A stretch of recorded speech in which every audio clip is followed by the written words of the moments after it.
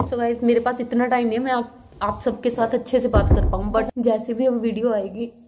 देखी जाएगी मैं आपके सबके साथ शेयर करने वाली हूँ। आज गेट रेडी विद मी जो कि मैं वेडिंग में आई हुई हूँ वहाँ का। तो और मैं अकेली ही रहती हूँ अभी तैयार होना। अभी मैं यूज़ कर रही हूँ ये शुगर का pore minimizing primer this is a silicone based primer guys और अभी मैं वॉइस ओवर ही करूँगी क्योंकि पीछे बहुत ज़्यादा वॉइसेस आ रही थी तो करके तो मैंने पूरे all over the face apply कर लिया है इस वाले प्राइमर को एंड अच्छे से अपनी स्किन में इसे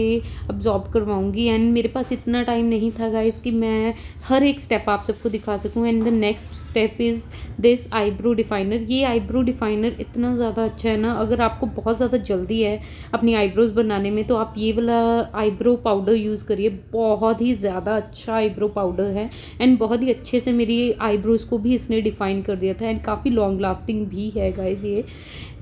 तो मैंने दोनों आइज़ पे कर लिया है अपने इस तरह से एंड अभी मैं यूज़ करूँगी मेरा फेवरेट लोरियल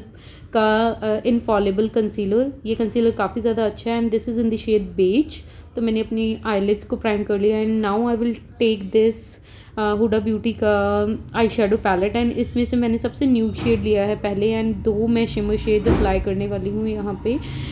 अभी मैं अगेन यूज़ कर रही हूँ लोरियल का कंसीलर अपने अंडर आइज़ में. आ, जो भी डार्कनेस है उसे कैंसिल आउट करने के लिए एंड अच्छे से ब्यूटी ब्लेंडर से ब्लेंड कर रही हूँ. And now I am taking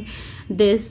foundation जो कि है मेबलिन की सुपर स्टे फाउंडेशन एंड इसमें मैं मिक्स करने वाली हूँ प्लम का ऑयल जो कि आप देख सकते हैं। एंड इन दोनों को कॉम्बिनेशन काफ़ी ज़्यादा अच्छा था एंड मैंने अपने ऑल ओवर फेस पे इसे अच्छे से अप्लाई कर लिया। एंड देन uh, मैंने अप्लाई करा मेकअप फिक्सर जो कि था मैक का। तो इससे क्या होता है ना हमारा जो मेकअप होता है ना लॉन्ग लास्टिंग रहता है। एंड अच्छे से अपनी जो भी फाउंडेशन आप अप्लाई कर रहे हो उसे अच्छे से ब्लेंड करो। एंड काफ़ी अच्छा टाइम दो अपनी फाउंडेशन को ब्लेंड करने के लिए। एंड बहुत बहुत ही स्मूथ बेस बन जाता है उससे एंड बिल्कुल भी केकी नहीं लगेगा आपका base and then I am applying this Mars का लूज पाउडर जो कि आजकल मेरा करंटली फेवरेट है और ये मेरी अंडर आइज़ को बिल्कुल भी ड्राई आउट नहीं करता है तो मैं उसी के पफ से अप्लाई कर रही हूँ and now I am applying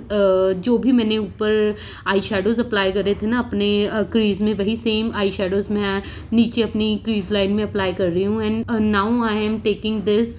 contour shade जो कि है पफ्स एंड लैशेज का cuppy cake in the shade tea cake and I am showing you this and now मैं अपने पूरे फेस पे अप्लाई कर लूँगी जो जो भी कॉन्टोरिंग एरियाज़ हैं, जहाँ पे भी मेरे फेस पे फैट है, मैं वहाँ वहाँ पे सारी ये वाला कॉन्टोरिंग कर लूँगी। एंड नोज़ को भी अपना थोड़ा सा पतला दिखा लूँगी, अपने नोज़ को। And now I am taking this puffs and lashes का अगेन ये है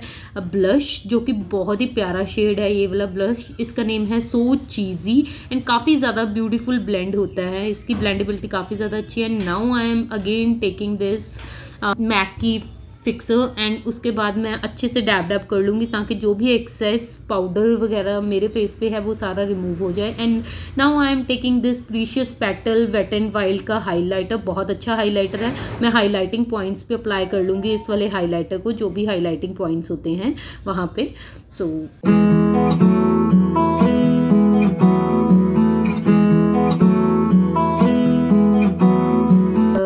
इनर कॉर्नर्स पे भी हाइलाइटर अप्लाई कर लिया and now I have taken this smash box की liquid lipstick this is in the shade